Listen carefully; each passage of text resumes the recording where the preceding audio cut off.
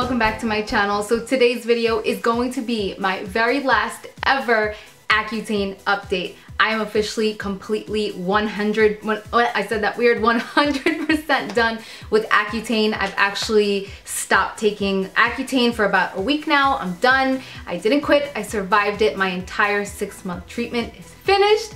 And today's video is going to be the update. So you guys pretty much know how this goes. Every single month I update you guys on my skin, what it looks like, and then we talk about all the symptoms that I've been suffering because for the month because every single month they kind of are a little bit different. And just so you guys know out of every single update that I have come out with for you guys the last month the sixth month was the absolute hardest. And we are going to get into that um, halfway through the video. So the first thing that I want to talk about is the results um, how my skin is looking. And you guys can see that I am 100% makeup free. The only thing that I have on my lips right now is a little bit of chapstick because my lips are still really, really dry. I read online that it could take up to six weeks before my lips get the moisture back after stopping Accutane and that's like one of the symptoms that I can't wait to disappear. You guys know that I sound like a broken record complaining about the dry lips. Also, I know in my last video that I said that I was not experiencing any hair loss, which I'm still not, and that my nails are not breaking because those are two symptoms that a lot of people do get. And seriously, you guys, during the entire five months before that, none of my nails broke at all, and I have one broken nail now. So it looks a little bit weird. Just wanted to point that out right in the beginning. So let's go right ahead and start talking about the skin. This is obviously the finished results, I guess, after the entire treatment plan, and I am over the moon, you guys. It has been four months since I've had even one pimple on my face. So that means that I have not had one breakout since the second month on Accutane. Every single morning I wake up and I look at my skin in the mirror and I just can't believe how flawless and beautiful and airbrushed my skin looks every single morning. I never in my wildest dreams thought my skin was gonna be this clear. I'm just blown away. The skin feels very healthy and smooth to the touch. I also have virtually no pores or blackhead. No, I said that wrong. Hold on, rewind. I virtually have no blackheads anymore. So all those little spots that I used to have on my nose and on the skin around my nose completely disappeared. All of my pores are completely clean. I do still have pores. Obviously, I'm a human. We all have pores. But the medication really did make them shrink. So they're tiny. I used to feel like I always had to apply a primer before my makeup because my pores used to be huge, but they really did shrink on the medication. And I know that's a question that you guys ask me a lot. Um, does it also treat whiteheads, blackheads, and big pores? And in my experience, yes. So just to reiterate, I am completely over the moon with my results. This is what my skin looks like now and I'm really hoping and praying and have my fingers crossed that it's going to stay like this for a really long time to come. I mean, I'm not gonna say that I'm not expecting to ever get another pimple in my life because I know that's, you know, a miracle, but I just feel extremely blessed coming from somebody that had really bad skin and every time that I went out in the public, I felt like people I saw people's eyes traveling around my face rather than giving me eye contact and that was one of the hardest things to put up with and I know people do it without even realizing but to not have to worry about that anymore I have so much more confidence and again I'm just really really happy at my final six month results. Okay so two things that I am left with after the six month treatment and that is really, really dark, dark circles, under circles. A lot of you guys said, girl, you don't have dark circles. I don't know what you're talking about. In my last update, I have a really huge ring light and studio lighting all around me, you guys. I'm telling you, it's washed out. You could probably kind of make them out, but not really Trust me, it's really dark and I talked to my doctor about it and he agreed with me. Yes, you do have really dark circles and it's kind of like a side effect of the medication, one of the ones that can be long term. It's due to the dehydration on the medication and it's something that takes a really long time to clear up even after you're done. So he did prescribe me a prescription and it's called hydroquinone 4% and basically I just apply this right before I apply my normal under eye moisturizer. You're supposed to use it morning and night. I only use it at night because from what I read online, it's a very strong prescription and I just feel like my skin is very thin right now, so I only use it at night and I actually use it every other night. It's actually described as a skin bleaching agent, so it's really supposed to help to lighten that area and especially like right here, the inner corners of my eyes, it's really dark. So I will let you guys know my experience with this. And then what is typical after a lot of people finish Accutane, your doctor will prescribe you Retin-A, which is I guess something that's supposed to help with the scarring and the hyperpigmentation that is left behind. You guys know in my last update that I did say my doctor told me if I really 100% wanted to get rid of any of the scarring, you can see it a little bit more on this side, um, if I wanted to get rid of that and also the redness that I'm kind of left with, he did recommend me to have a micro peel laser and a Fraxel laser, which are both done at the same time. It's $1,500 and I have to wait about six months after Accutane before I can even get it. To be honest with you guys, I'm on the fence about it. I kind of do want it because I feel like it will be like icing and cherry on top after this huge life-altering six months that I went through. I kind of feel like I, I want to treat myself to really have my skin look extra special. Um, but I'm not 100% sure yet. It's a lot of money and I don't know if it's gonna be really that dramatic because some people might need more than one treatment. So in the meantime, um, yeah, I have my dark circles and my hyperpigmentation. I have these two prescriptions to kind of help me deal with it. And other than that, I cannot complain. Honestly, you guys know I can't say it enough times. I feel so blessed to have the skin that the medicine has given me now. So really, I, I sound stupid complaining about anything. Now on to the juicy part. And we are gonna talk about the side effects this month. I'm gonna let you guys know that the sixth month, again, was the roughest month. The first month on Accutane was really, really hard, and I feel like this last month was double as hard as that first month.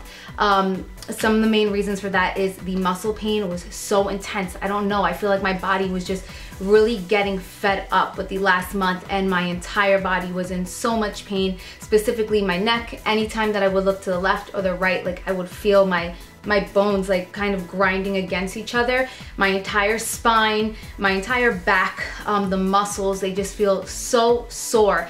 Very hard to get out of bed very hard to get motivated and a huge lack of energy. I guess all of that ties in because then my depression and anxiety during the last month was at an all-time high. I do plan because a lot of you guys have been requesting and asking if I can come out with a video on my own personal story with depression and anxiety and how I deal with it, but it is shown on the medication and the, the little symptoms online and actually on the package that this medication can cause depression and anxiety even in people that have never experienced that. So I already had a little bit of that that I had dealt with, you know, for a long time in my life. Um, but the medicine just made it so much harder the last month. And this is something that the first month and a half I did deal with and then it kind of went away. And then the last month it came back really really bad. So I just felt overall um, very depressed like very sad. I wanted to cry about anything. I was very sensitive and emotional about anything and everything.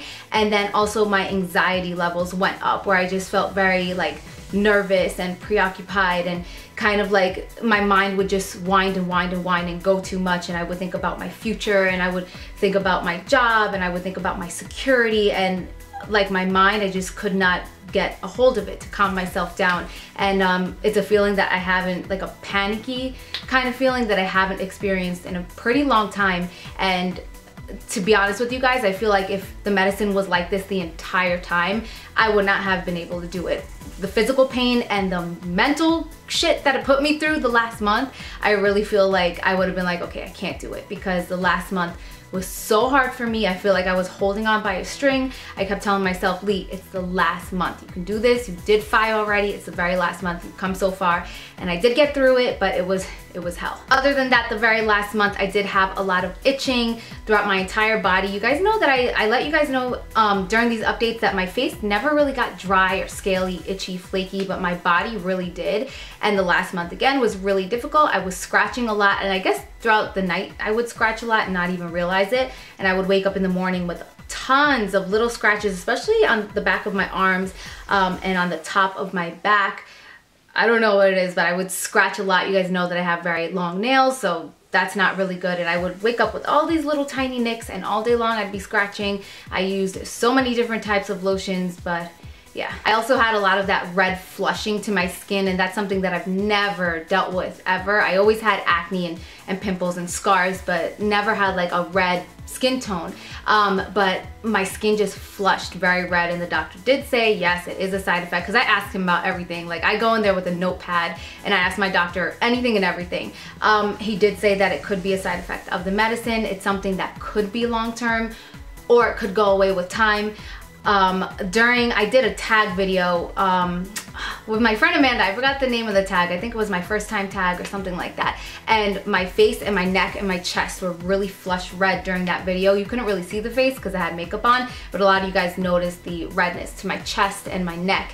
And um, I don't know, I never had that problem before and it was really obvious and noticeable. I did pick up some anti-redness moisturizers and face washes from Clinique. I'm still testing them out and also my entire skincare routine is changing but I definitely want to wait and try it at least two three months before I'm 100% sure. If you guys want to know what my skincare routine while on Accutane was I'm gonna post that down below. But now that I'm post Accutane I'm gonna have an entire new one. And yeah guys I have been off Accutane for entirely one week right now. I believe from what I read online um, the medication takes one month to leave your system but three months to kind of get rid of all of the symptoms and really have your body regulated. And I do wanna say just to wrap up this entire series here, since this is gonna be the last one, that I am just really proud of myself that I stuck it out. It absolutely was not something that was easy to do. It was a very life um, altering while I was on it. Like it did affect my life, but then